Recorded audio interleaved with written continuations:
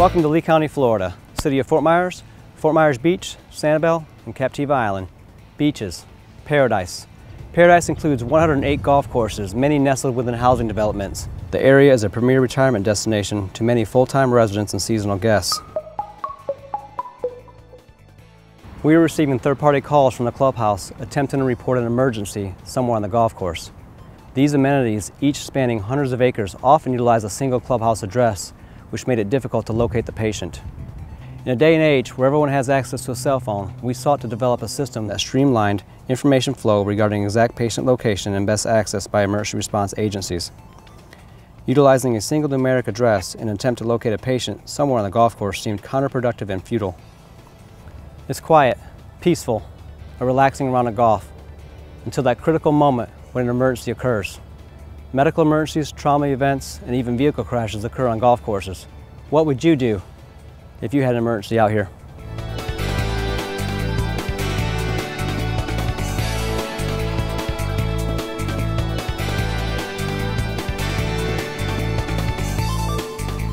Standing here, it may be hard to pinpoint exactly where you are and to determine best access for emergency responders. House numbers and street addresses are not visible from the course, but what is known is the course name, hole number, and if the player is nearest to the tee box, fairway, or green. By utilizing GIS and CAD capabilities, we can guide responders directly to a street address point that corresponds to these locations and provide for efficient and timely patient contact.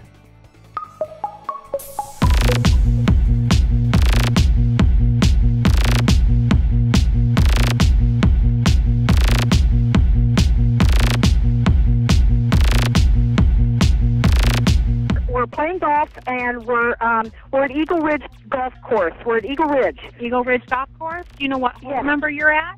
Um, let's see. We're, we uh, hole number ten. Hole number ten. Okay, and is that the fairway, the tee box, or the green?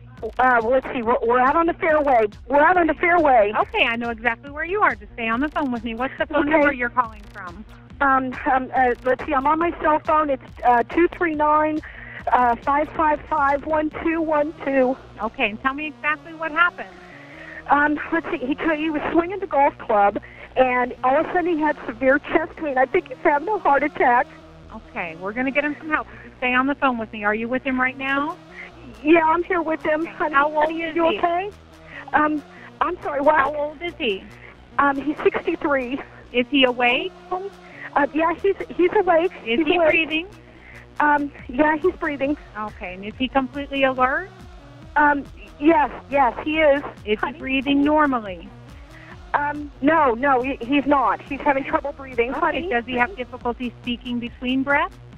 um, yeah, yeah, it seems like it. He does. He's re- having a real hard time Okay, talking. just stay on the phone with me. My partners are sending the paramedics. We know exactly where you are. You're, they're coming to Eagle Ridge Course, hole number 10 at the fairway. Yeah, And yeah. it looks like they're going to come to 7627 Eaglet Court, and they'll come right between the houses to get to you, okay?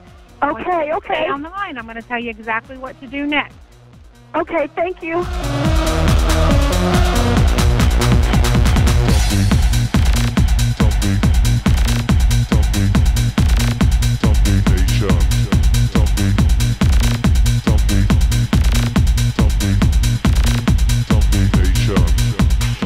My name is Rob Lovell, and I work for Lee County GIS. In 2013, Communications approached GIS with a golf course project that at first seemed overwhelming with what they wanted to accomplish. But after jumping in with both feet, it proved to be not so difficult. In total, 20 weeks were spent and over 800 hours gathering data for the GIS portion of the project. With the collaboration of EMS, fire, communications, and GIS working together, we proved that with a little hard work, a lot could be done in a relatively short amount of time. In the GIS inventory, we had GPS coordinates for the tees and the greens, but no other information. We added the fairway point to get our three access points per golf hole, tee, fairway, green. Attributes were then assigned to these points, most importantly which golf club and the hole number. 8,000 total points had to be assigned. After creating all of this data and assigning the relevant information, it was time to verify each critical address as suitable. PDF maps were created for each of the 109 golf courses. Each fire district hit the ground running with the golf course maps and began the process of verifying suitable access for public safety crews to the golf course. Once completed, the information was downloaded into the communications CAD system, allowing for a call taker to enter the location of the emergency that provided best access to the patient.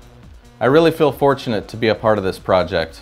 As an avid golfer, this will save lives by getting the resources to the patient in the shortest amount of time with the least amount of confusion. Address verification becomes very simple. The XY coordinates should line up on the map and the CAD matrix verifies the closest street address access point.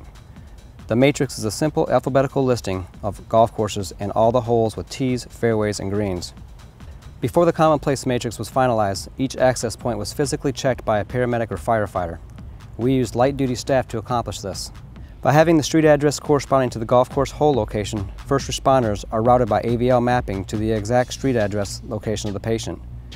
CAD call comments indicated the patient is on the golf course behind the house.